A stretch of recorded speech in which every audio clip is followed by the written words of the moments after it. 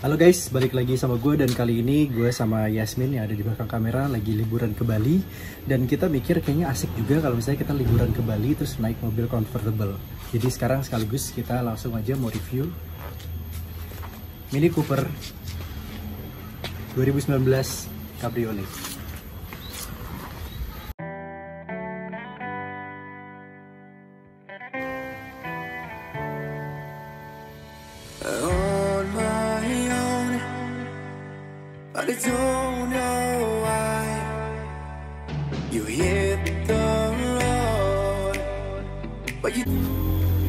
Oke guys, jadi mungkin yang seperti kalian tahu ini Mini Cooper uh, facelift uh, yang hampir terakhir. Jadi Mini Cooper di model ini itu dia mengalami tiga kali facelift ya. Yang pertama yang yang dalamnya itu setengah kepotong di bawah. Terus ini yang kedua yang daerahnya udah full. Nanti kita coba lihat. Terus ada satu lagi yang ketiga yang depannya tuh udah mirip-mirip sama uh, elek- uh, car gitu ya. Padahal yang combustionnya pun uh, kelihatannya tuh kayak electric car padahal sebenarnya dia bukan electric car meskipun dia punya uh, yang versi elektriknya. Nah, untuk Cooper yang satu ini, uh, dia ini bukan Cooper S. Jadi dia mesinnya 1500 cc, 3 silinder uh, dengan turbo. Uh, cuman enaknya kalau misalnya pakai Cooper yang biasa di Bali itu, dia bisa dapat uh, konsumsi bahan bakar yang cukup irit. Jadi kita bisa jalan-jalan misalnya ke Kintamani atau ke Uluwatu uh, naik mobil ini yang ukurannya cukup kompak uh, dan dengan konsumsi bahan bakar yang cukup uh, enak juga untuk dibawa jalan-jalan. Sekarang kita coba start up mesinnya dan sekaligus kita buka tapi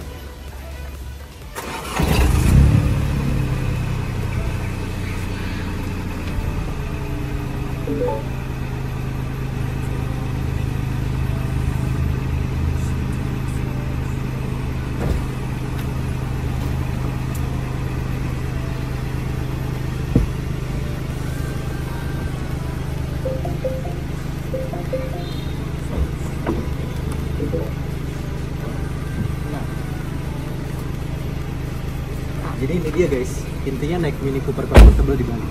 Kita jalan-jalan pakai atap terbuka.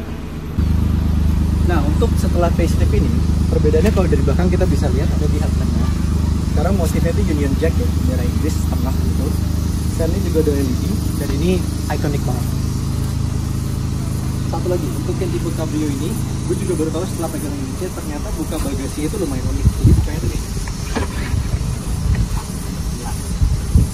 jadi dia bukanya ke bawah gitu untuk versi yang facelift kedua ini perbedaannya dari samping kita bisa lihat di velgnya. Jadi velgnya itu sekarang dia udah tutun meskipun yang bukan S. Kelihatannya lebih oke gitu. Sekarang kita coba lihat ke bagian depannya. Satu lagi hal yang unik dari sebuah mini adalah ketika kalian buka kap mesinnya jadi dia ngangkat full semuanya. Ini mesinnya Nah ini untuk mesin yang 3 silinder ini, pas tadi start up itu sebenarnya terasa ya, dia ada sedikit getarannya. Tapi kalau udah jalan nanti kayak gimana, itu nanti kita coba aja langsung impresi ke kendaraannya. Plus kalau lagi idle kayak gini, dia sih sebenarnya nggak begitu terasa bergetar ya. Itu ciri khasnya mobil 3 silinder by the way, jadi dia ada uh, getaran sedikit gitu ya, dibandingkan silinder yang gimana gini. Nah sekarang kita langsung aja yuk cobain gimana rasanya naik Mini Cabrio jalan-jalan di Bali dan impresi berkendaranya nanti. Ya, jadi memang Mini itu terkenal banget sama feedback setirnya ya guys. Jadi uh, dia feedback itu direct, langsung responsif. Uh, kalau orang-orang bilang tuh ada go kart feelingnya gitu. Jadi kayak, kayak misalnya bisa kita lihat nih.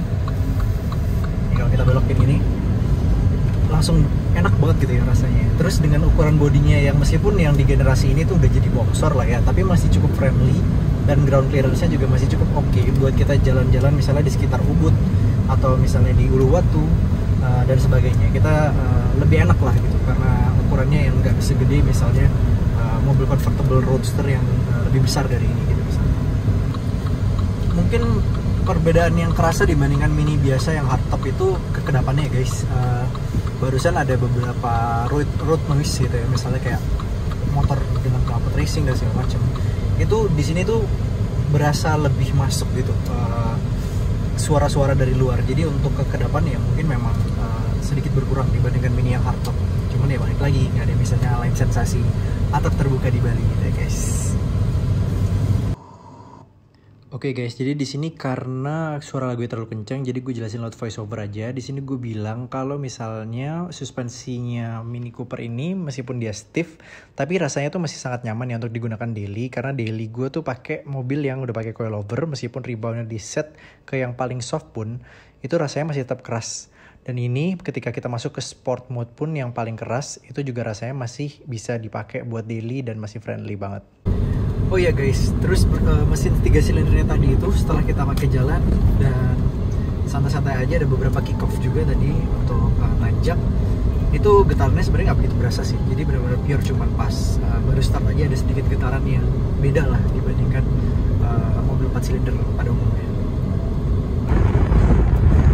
jadi ini guys kita sekarang lagi di tol Bali Mandara ya ini atapnya setengah kebuka karena yang convertible itu juga bisa dibuka setengah supaya kayak ala-ala panorama sunroof itu anginnya tuh enak banget ya guys rasanya Lihat pemandangannya.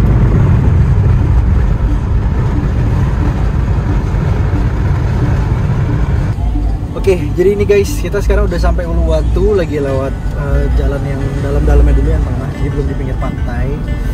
Ini sensasinya tuh seru ya, jadi tetap dapat duduk nyamannya mobil, tapi tetap dapat sun kiss dari Bali itu sendiri. Nah, nanti kita coba cek pas sudah deket pantai, terus habis itu mataharinya udah sedikit lebih turun dan sedikit lebih nggak panas, rasanya gimana? Nah guys, di footage ini juga karena suara anginnya terlalu kencang dan suara lagunya terlalu kencang, gue cuma mau bilang kalau di sini kalian tuh pakai mini cabrio, kalian bisa datang ke Pantai Melasti sambil menikmati view-nya, bawa snack di sini, terus habis itu menikmati sunset di sini itu juga udah asik banget dan kalian bisa dapat foto-foto yang keren-keren banget.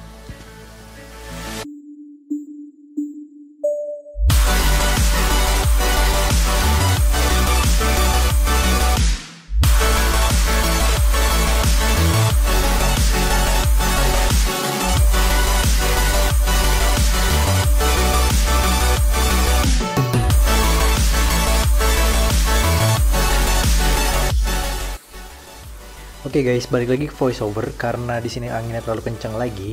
Jadi kesimpulannya adalah kalau misalnya kalian mau naik Mini Cooper tapi nyari performance, mendingan kalian ambil Mini Cooper S yang 2000cc turbo dan yang hardtop karena selain lebih nyaman, performance juga lebih oke. Okay. Cuman kalau kalian suka jalan-jalan santai dan cruising apalagi kalian tinggal di Bali gitu ya, mungkin Mini Cooper biasa ini yang non S, yang cabrio itu bisa jadi pilihan yang tepat karena selain irit, dia asik dikendarain, sensasinya juga beda banget sama Mini Cooper hardtop. FYI, unit yang gue review ini adalah unit yang gue sewa dari Singa Bali Transport dan semua yang ada di video ini adalah pendibat pribadi gue ya guys. Gue sendiri nggak terafiliasi dengan pihak mana pun. Jadi mungkin segitu aja video review kali ini, kurang lebihnya mohon maaf. And see you guys on the next video.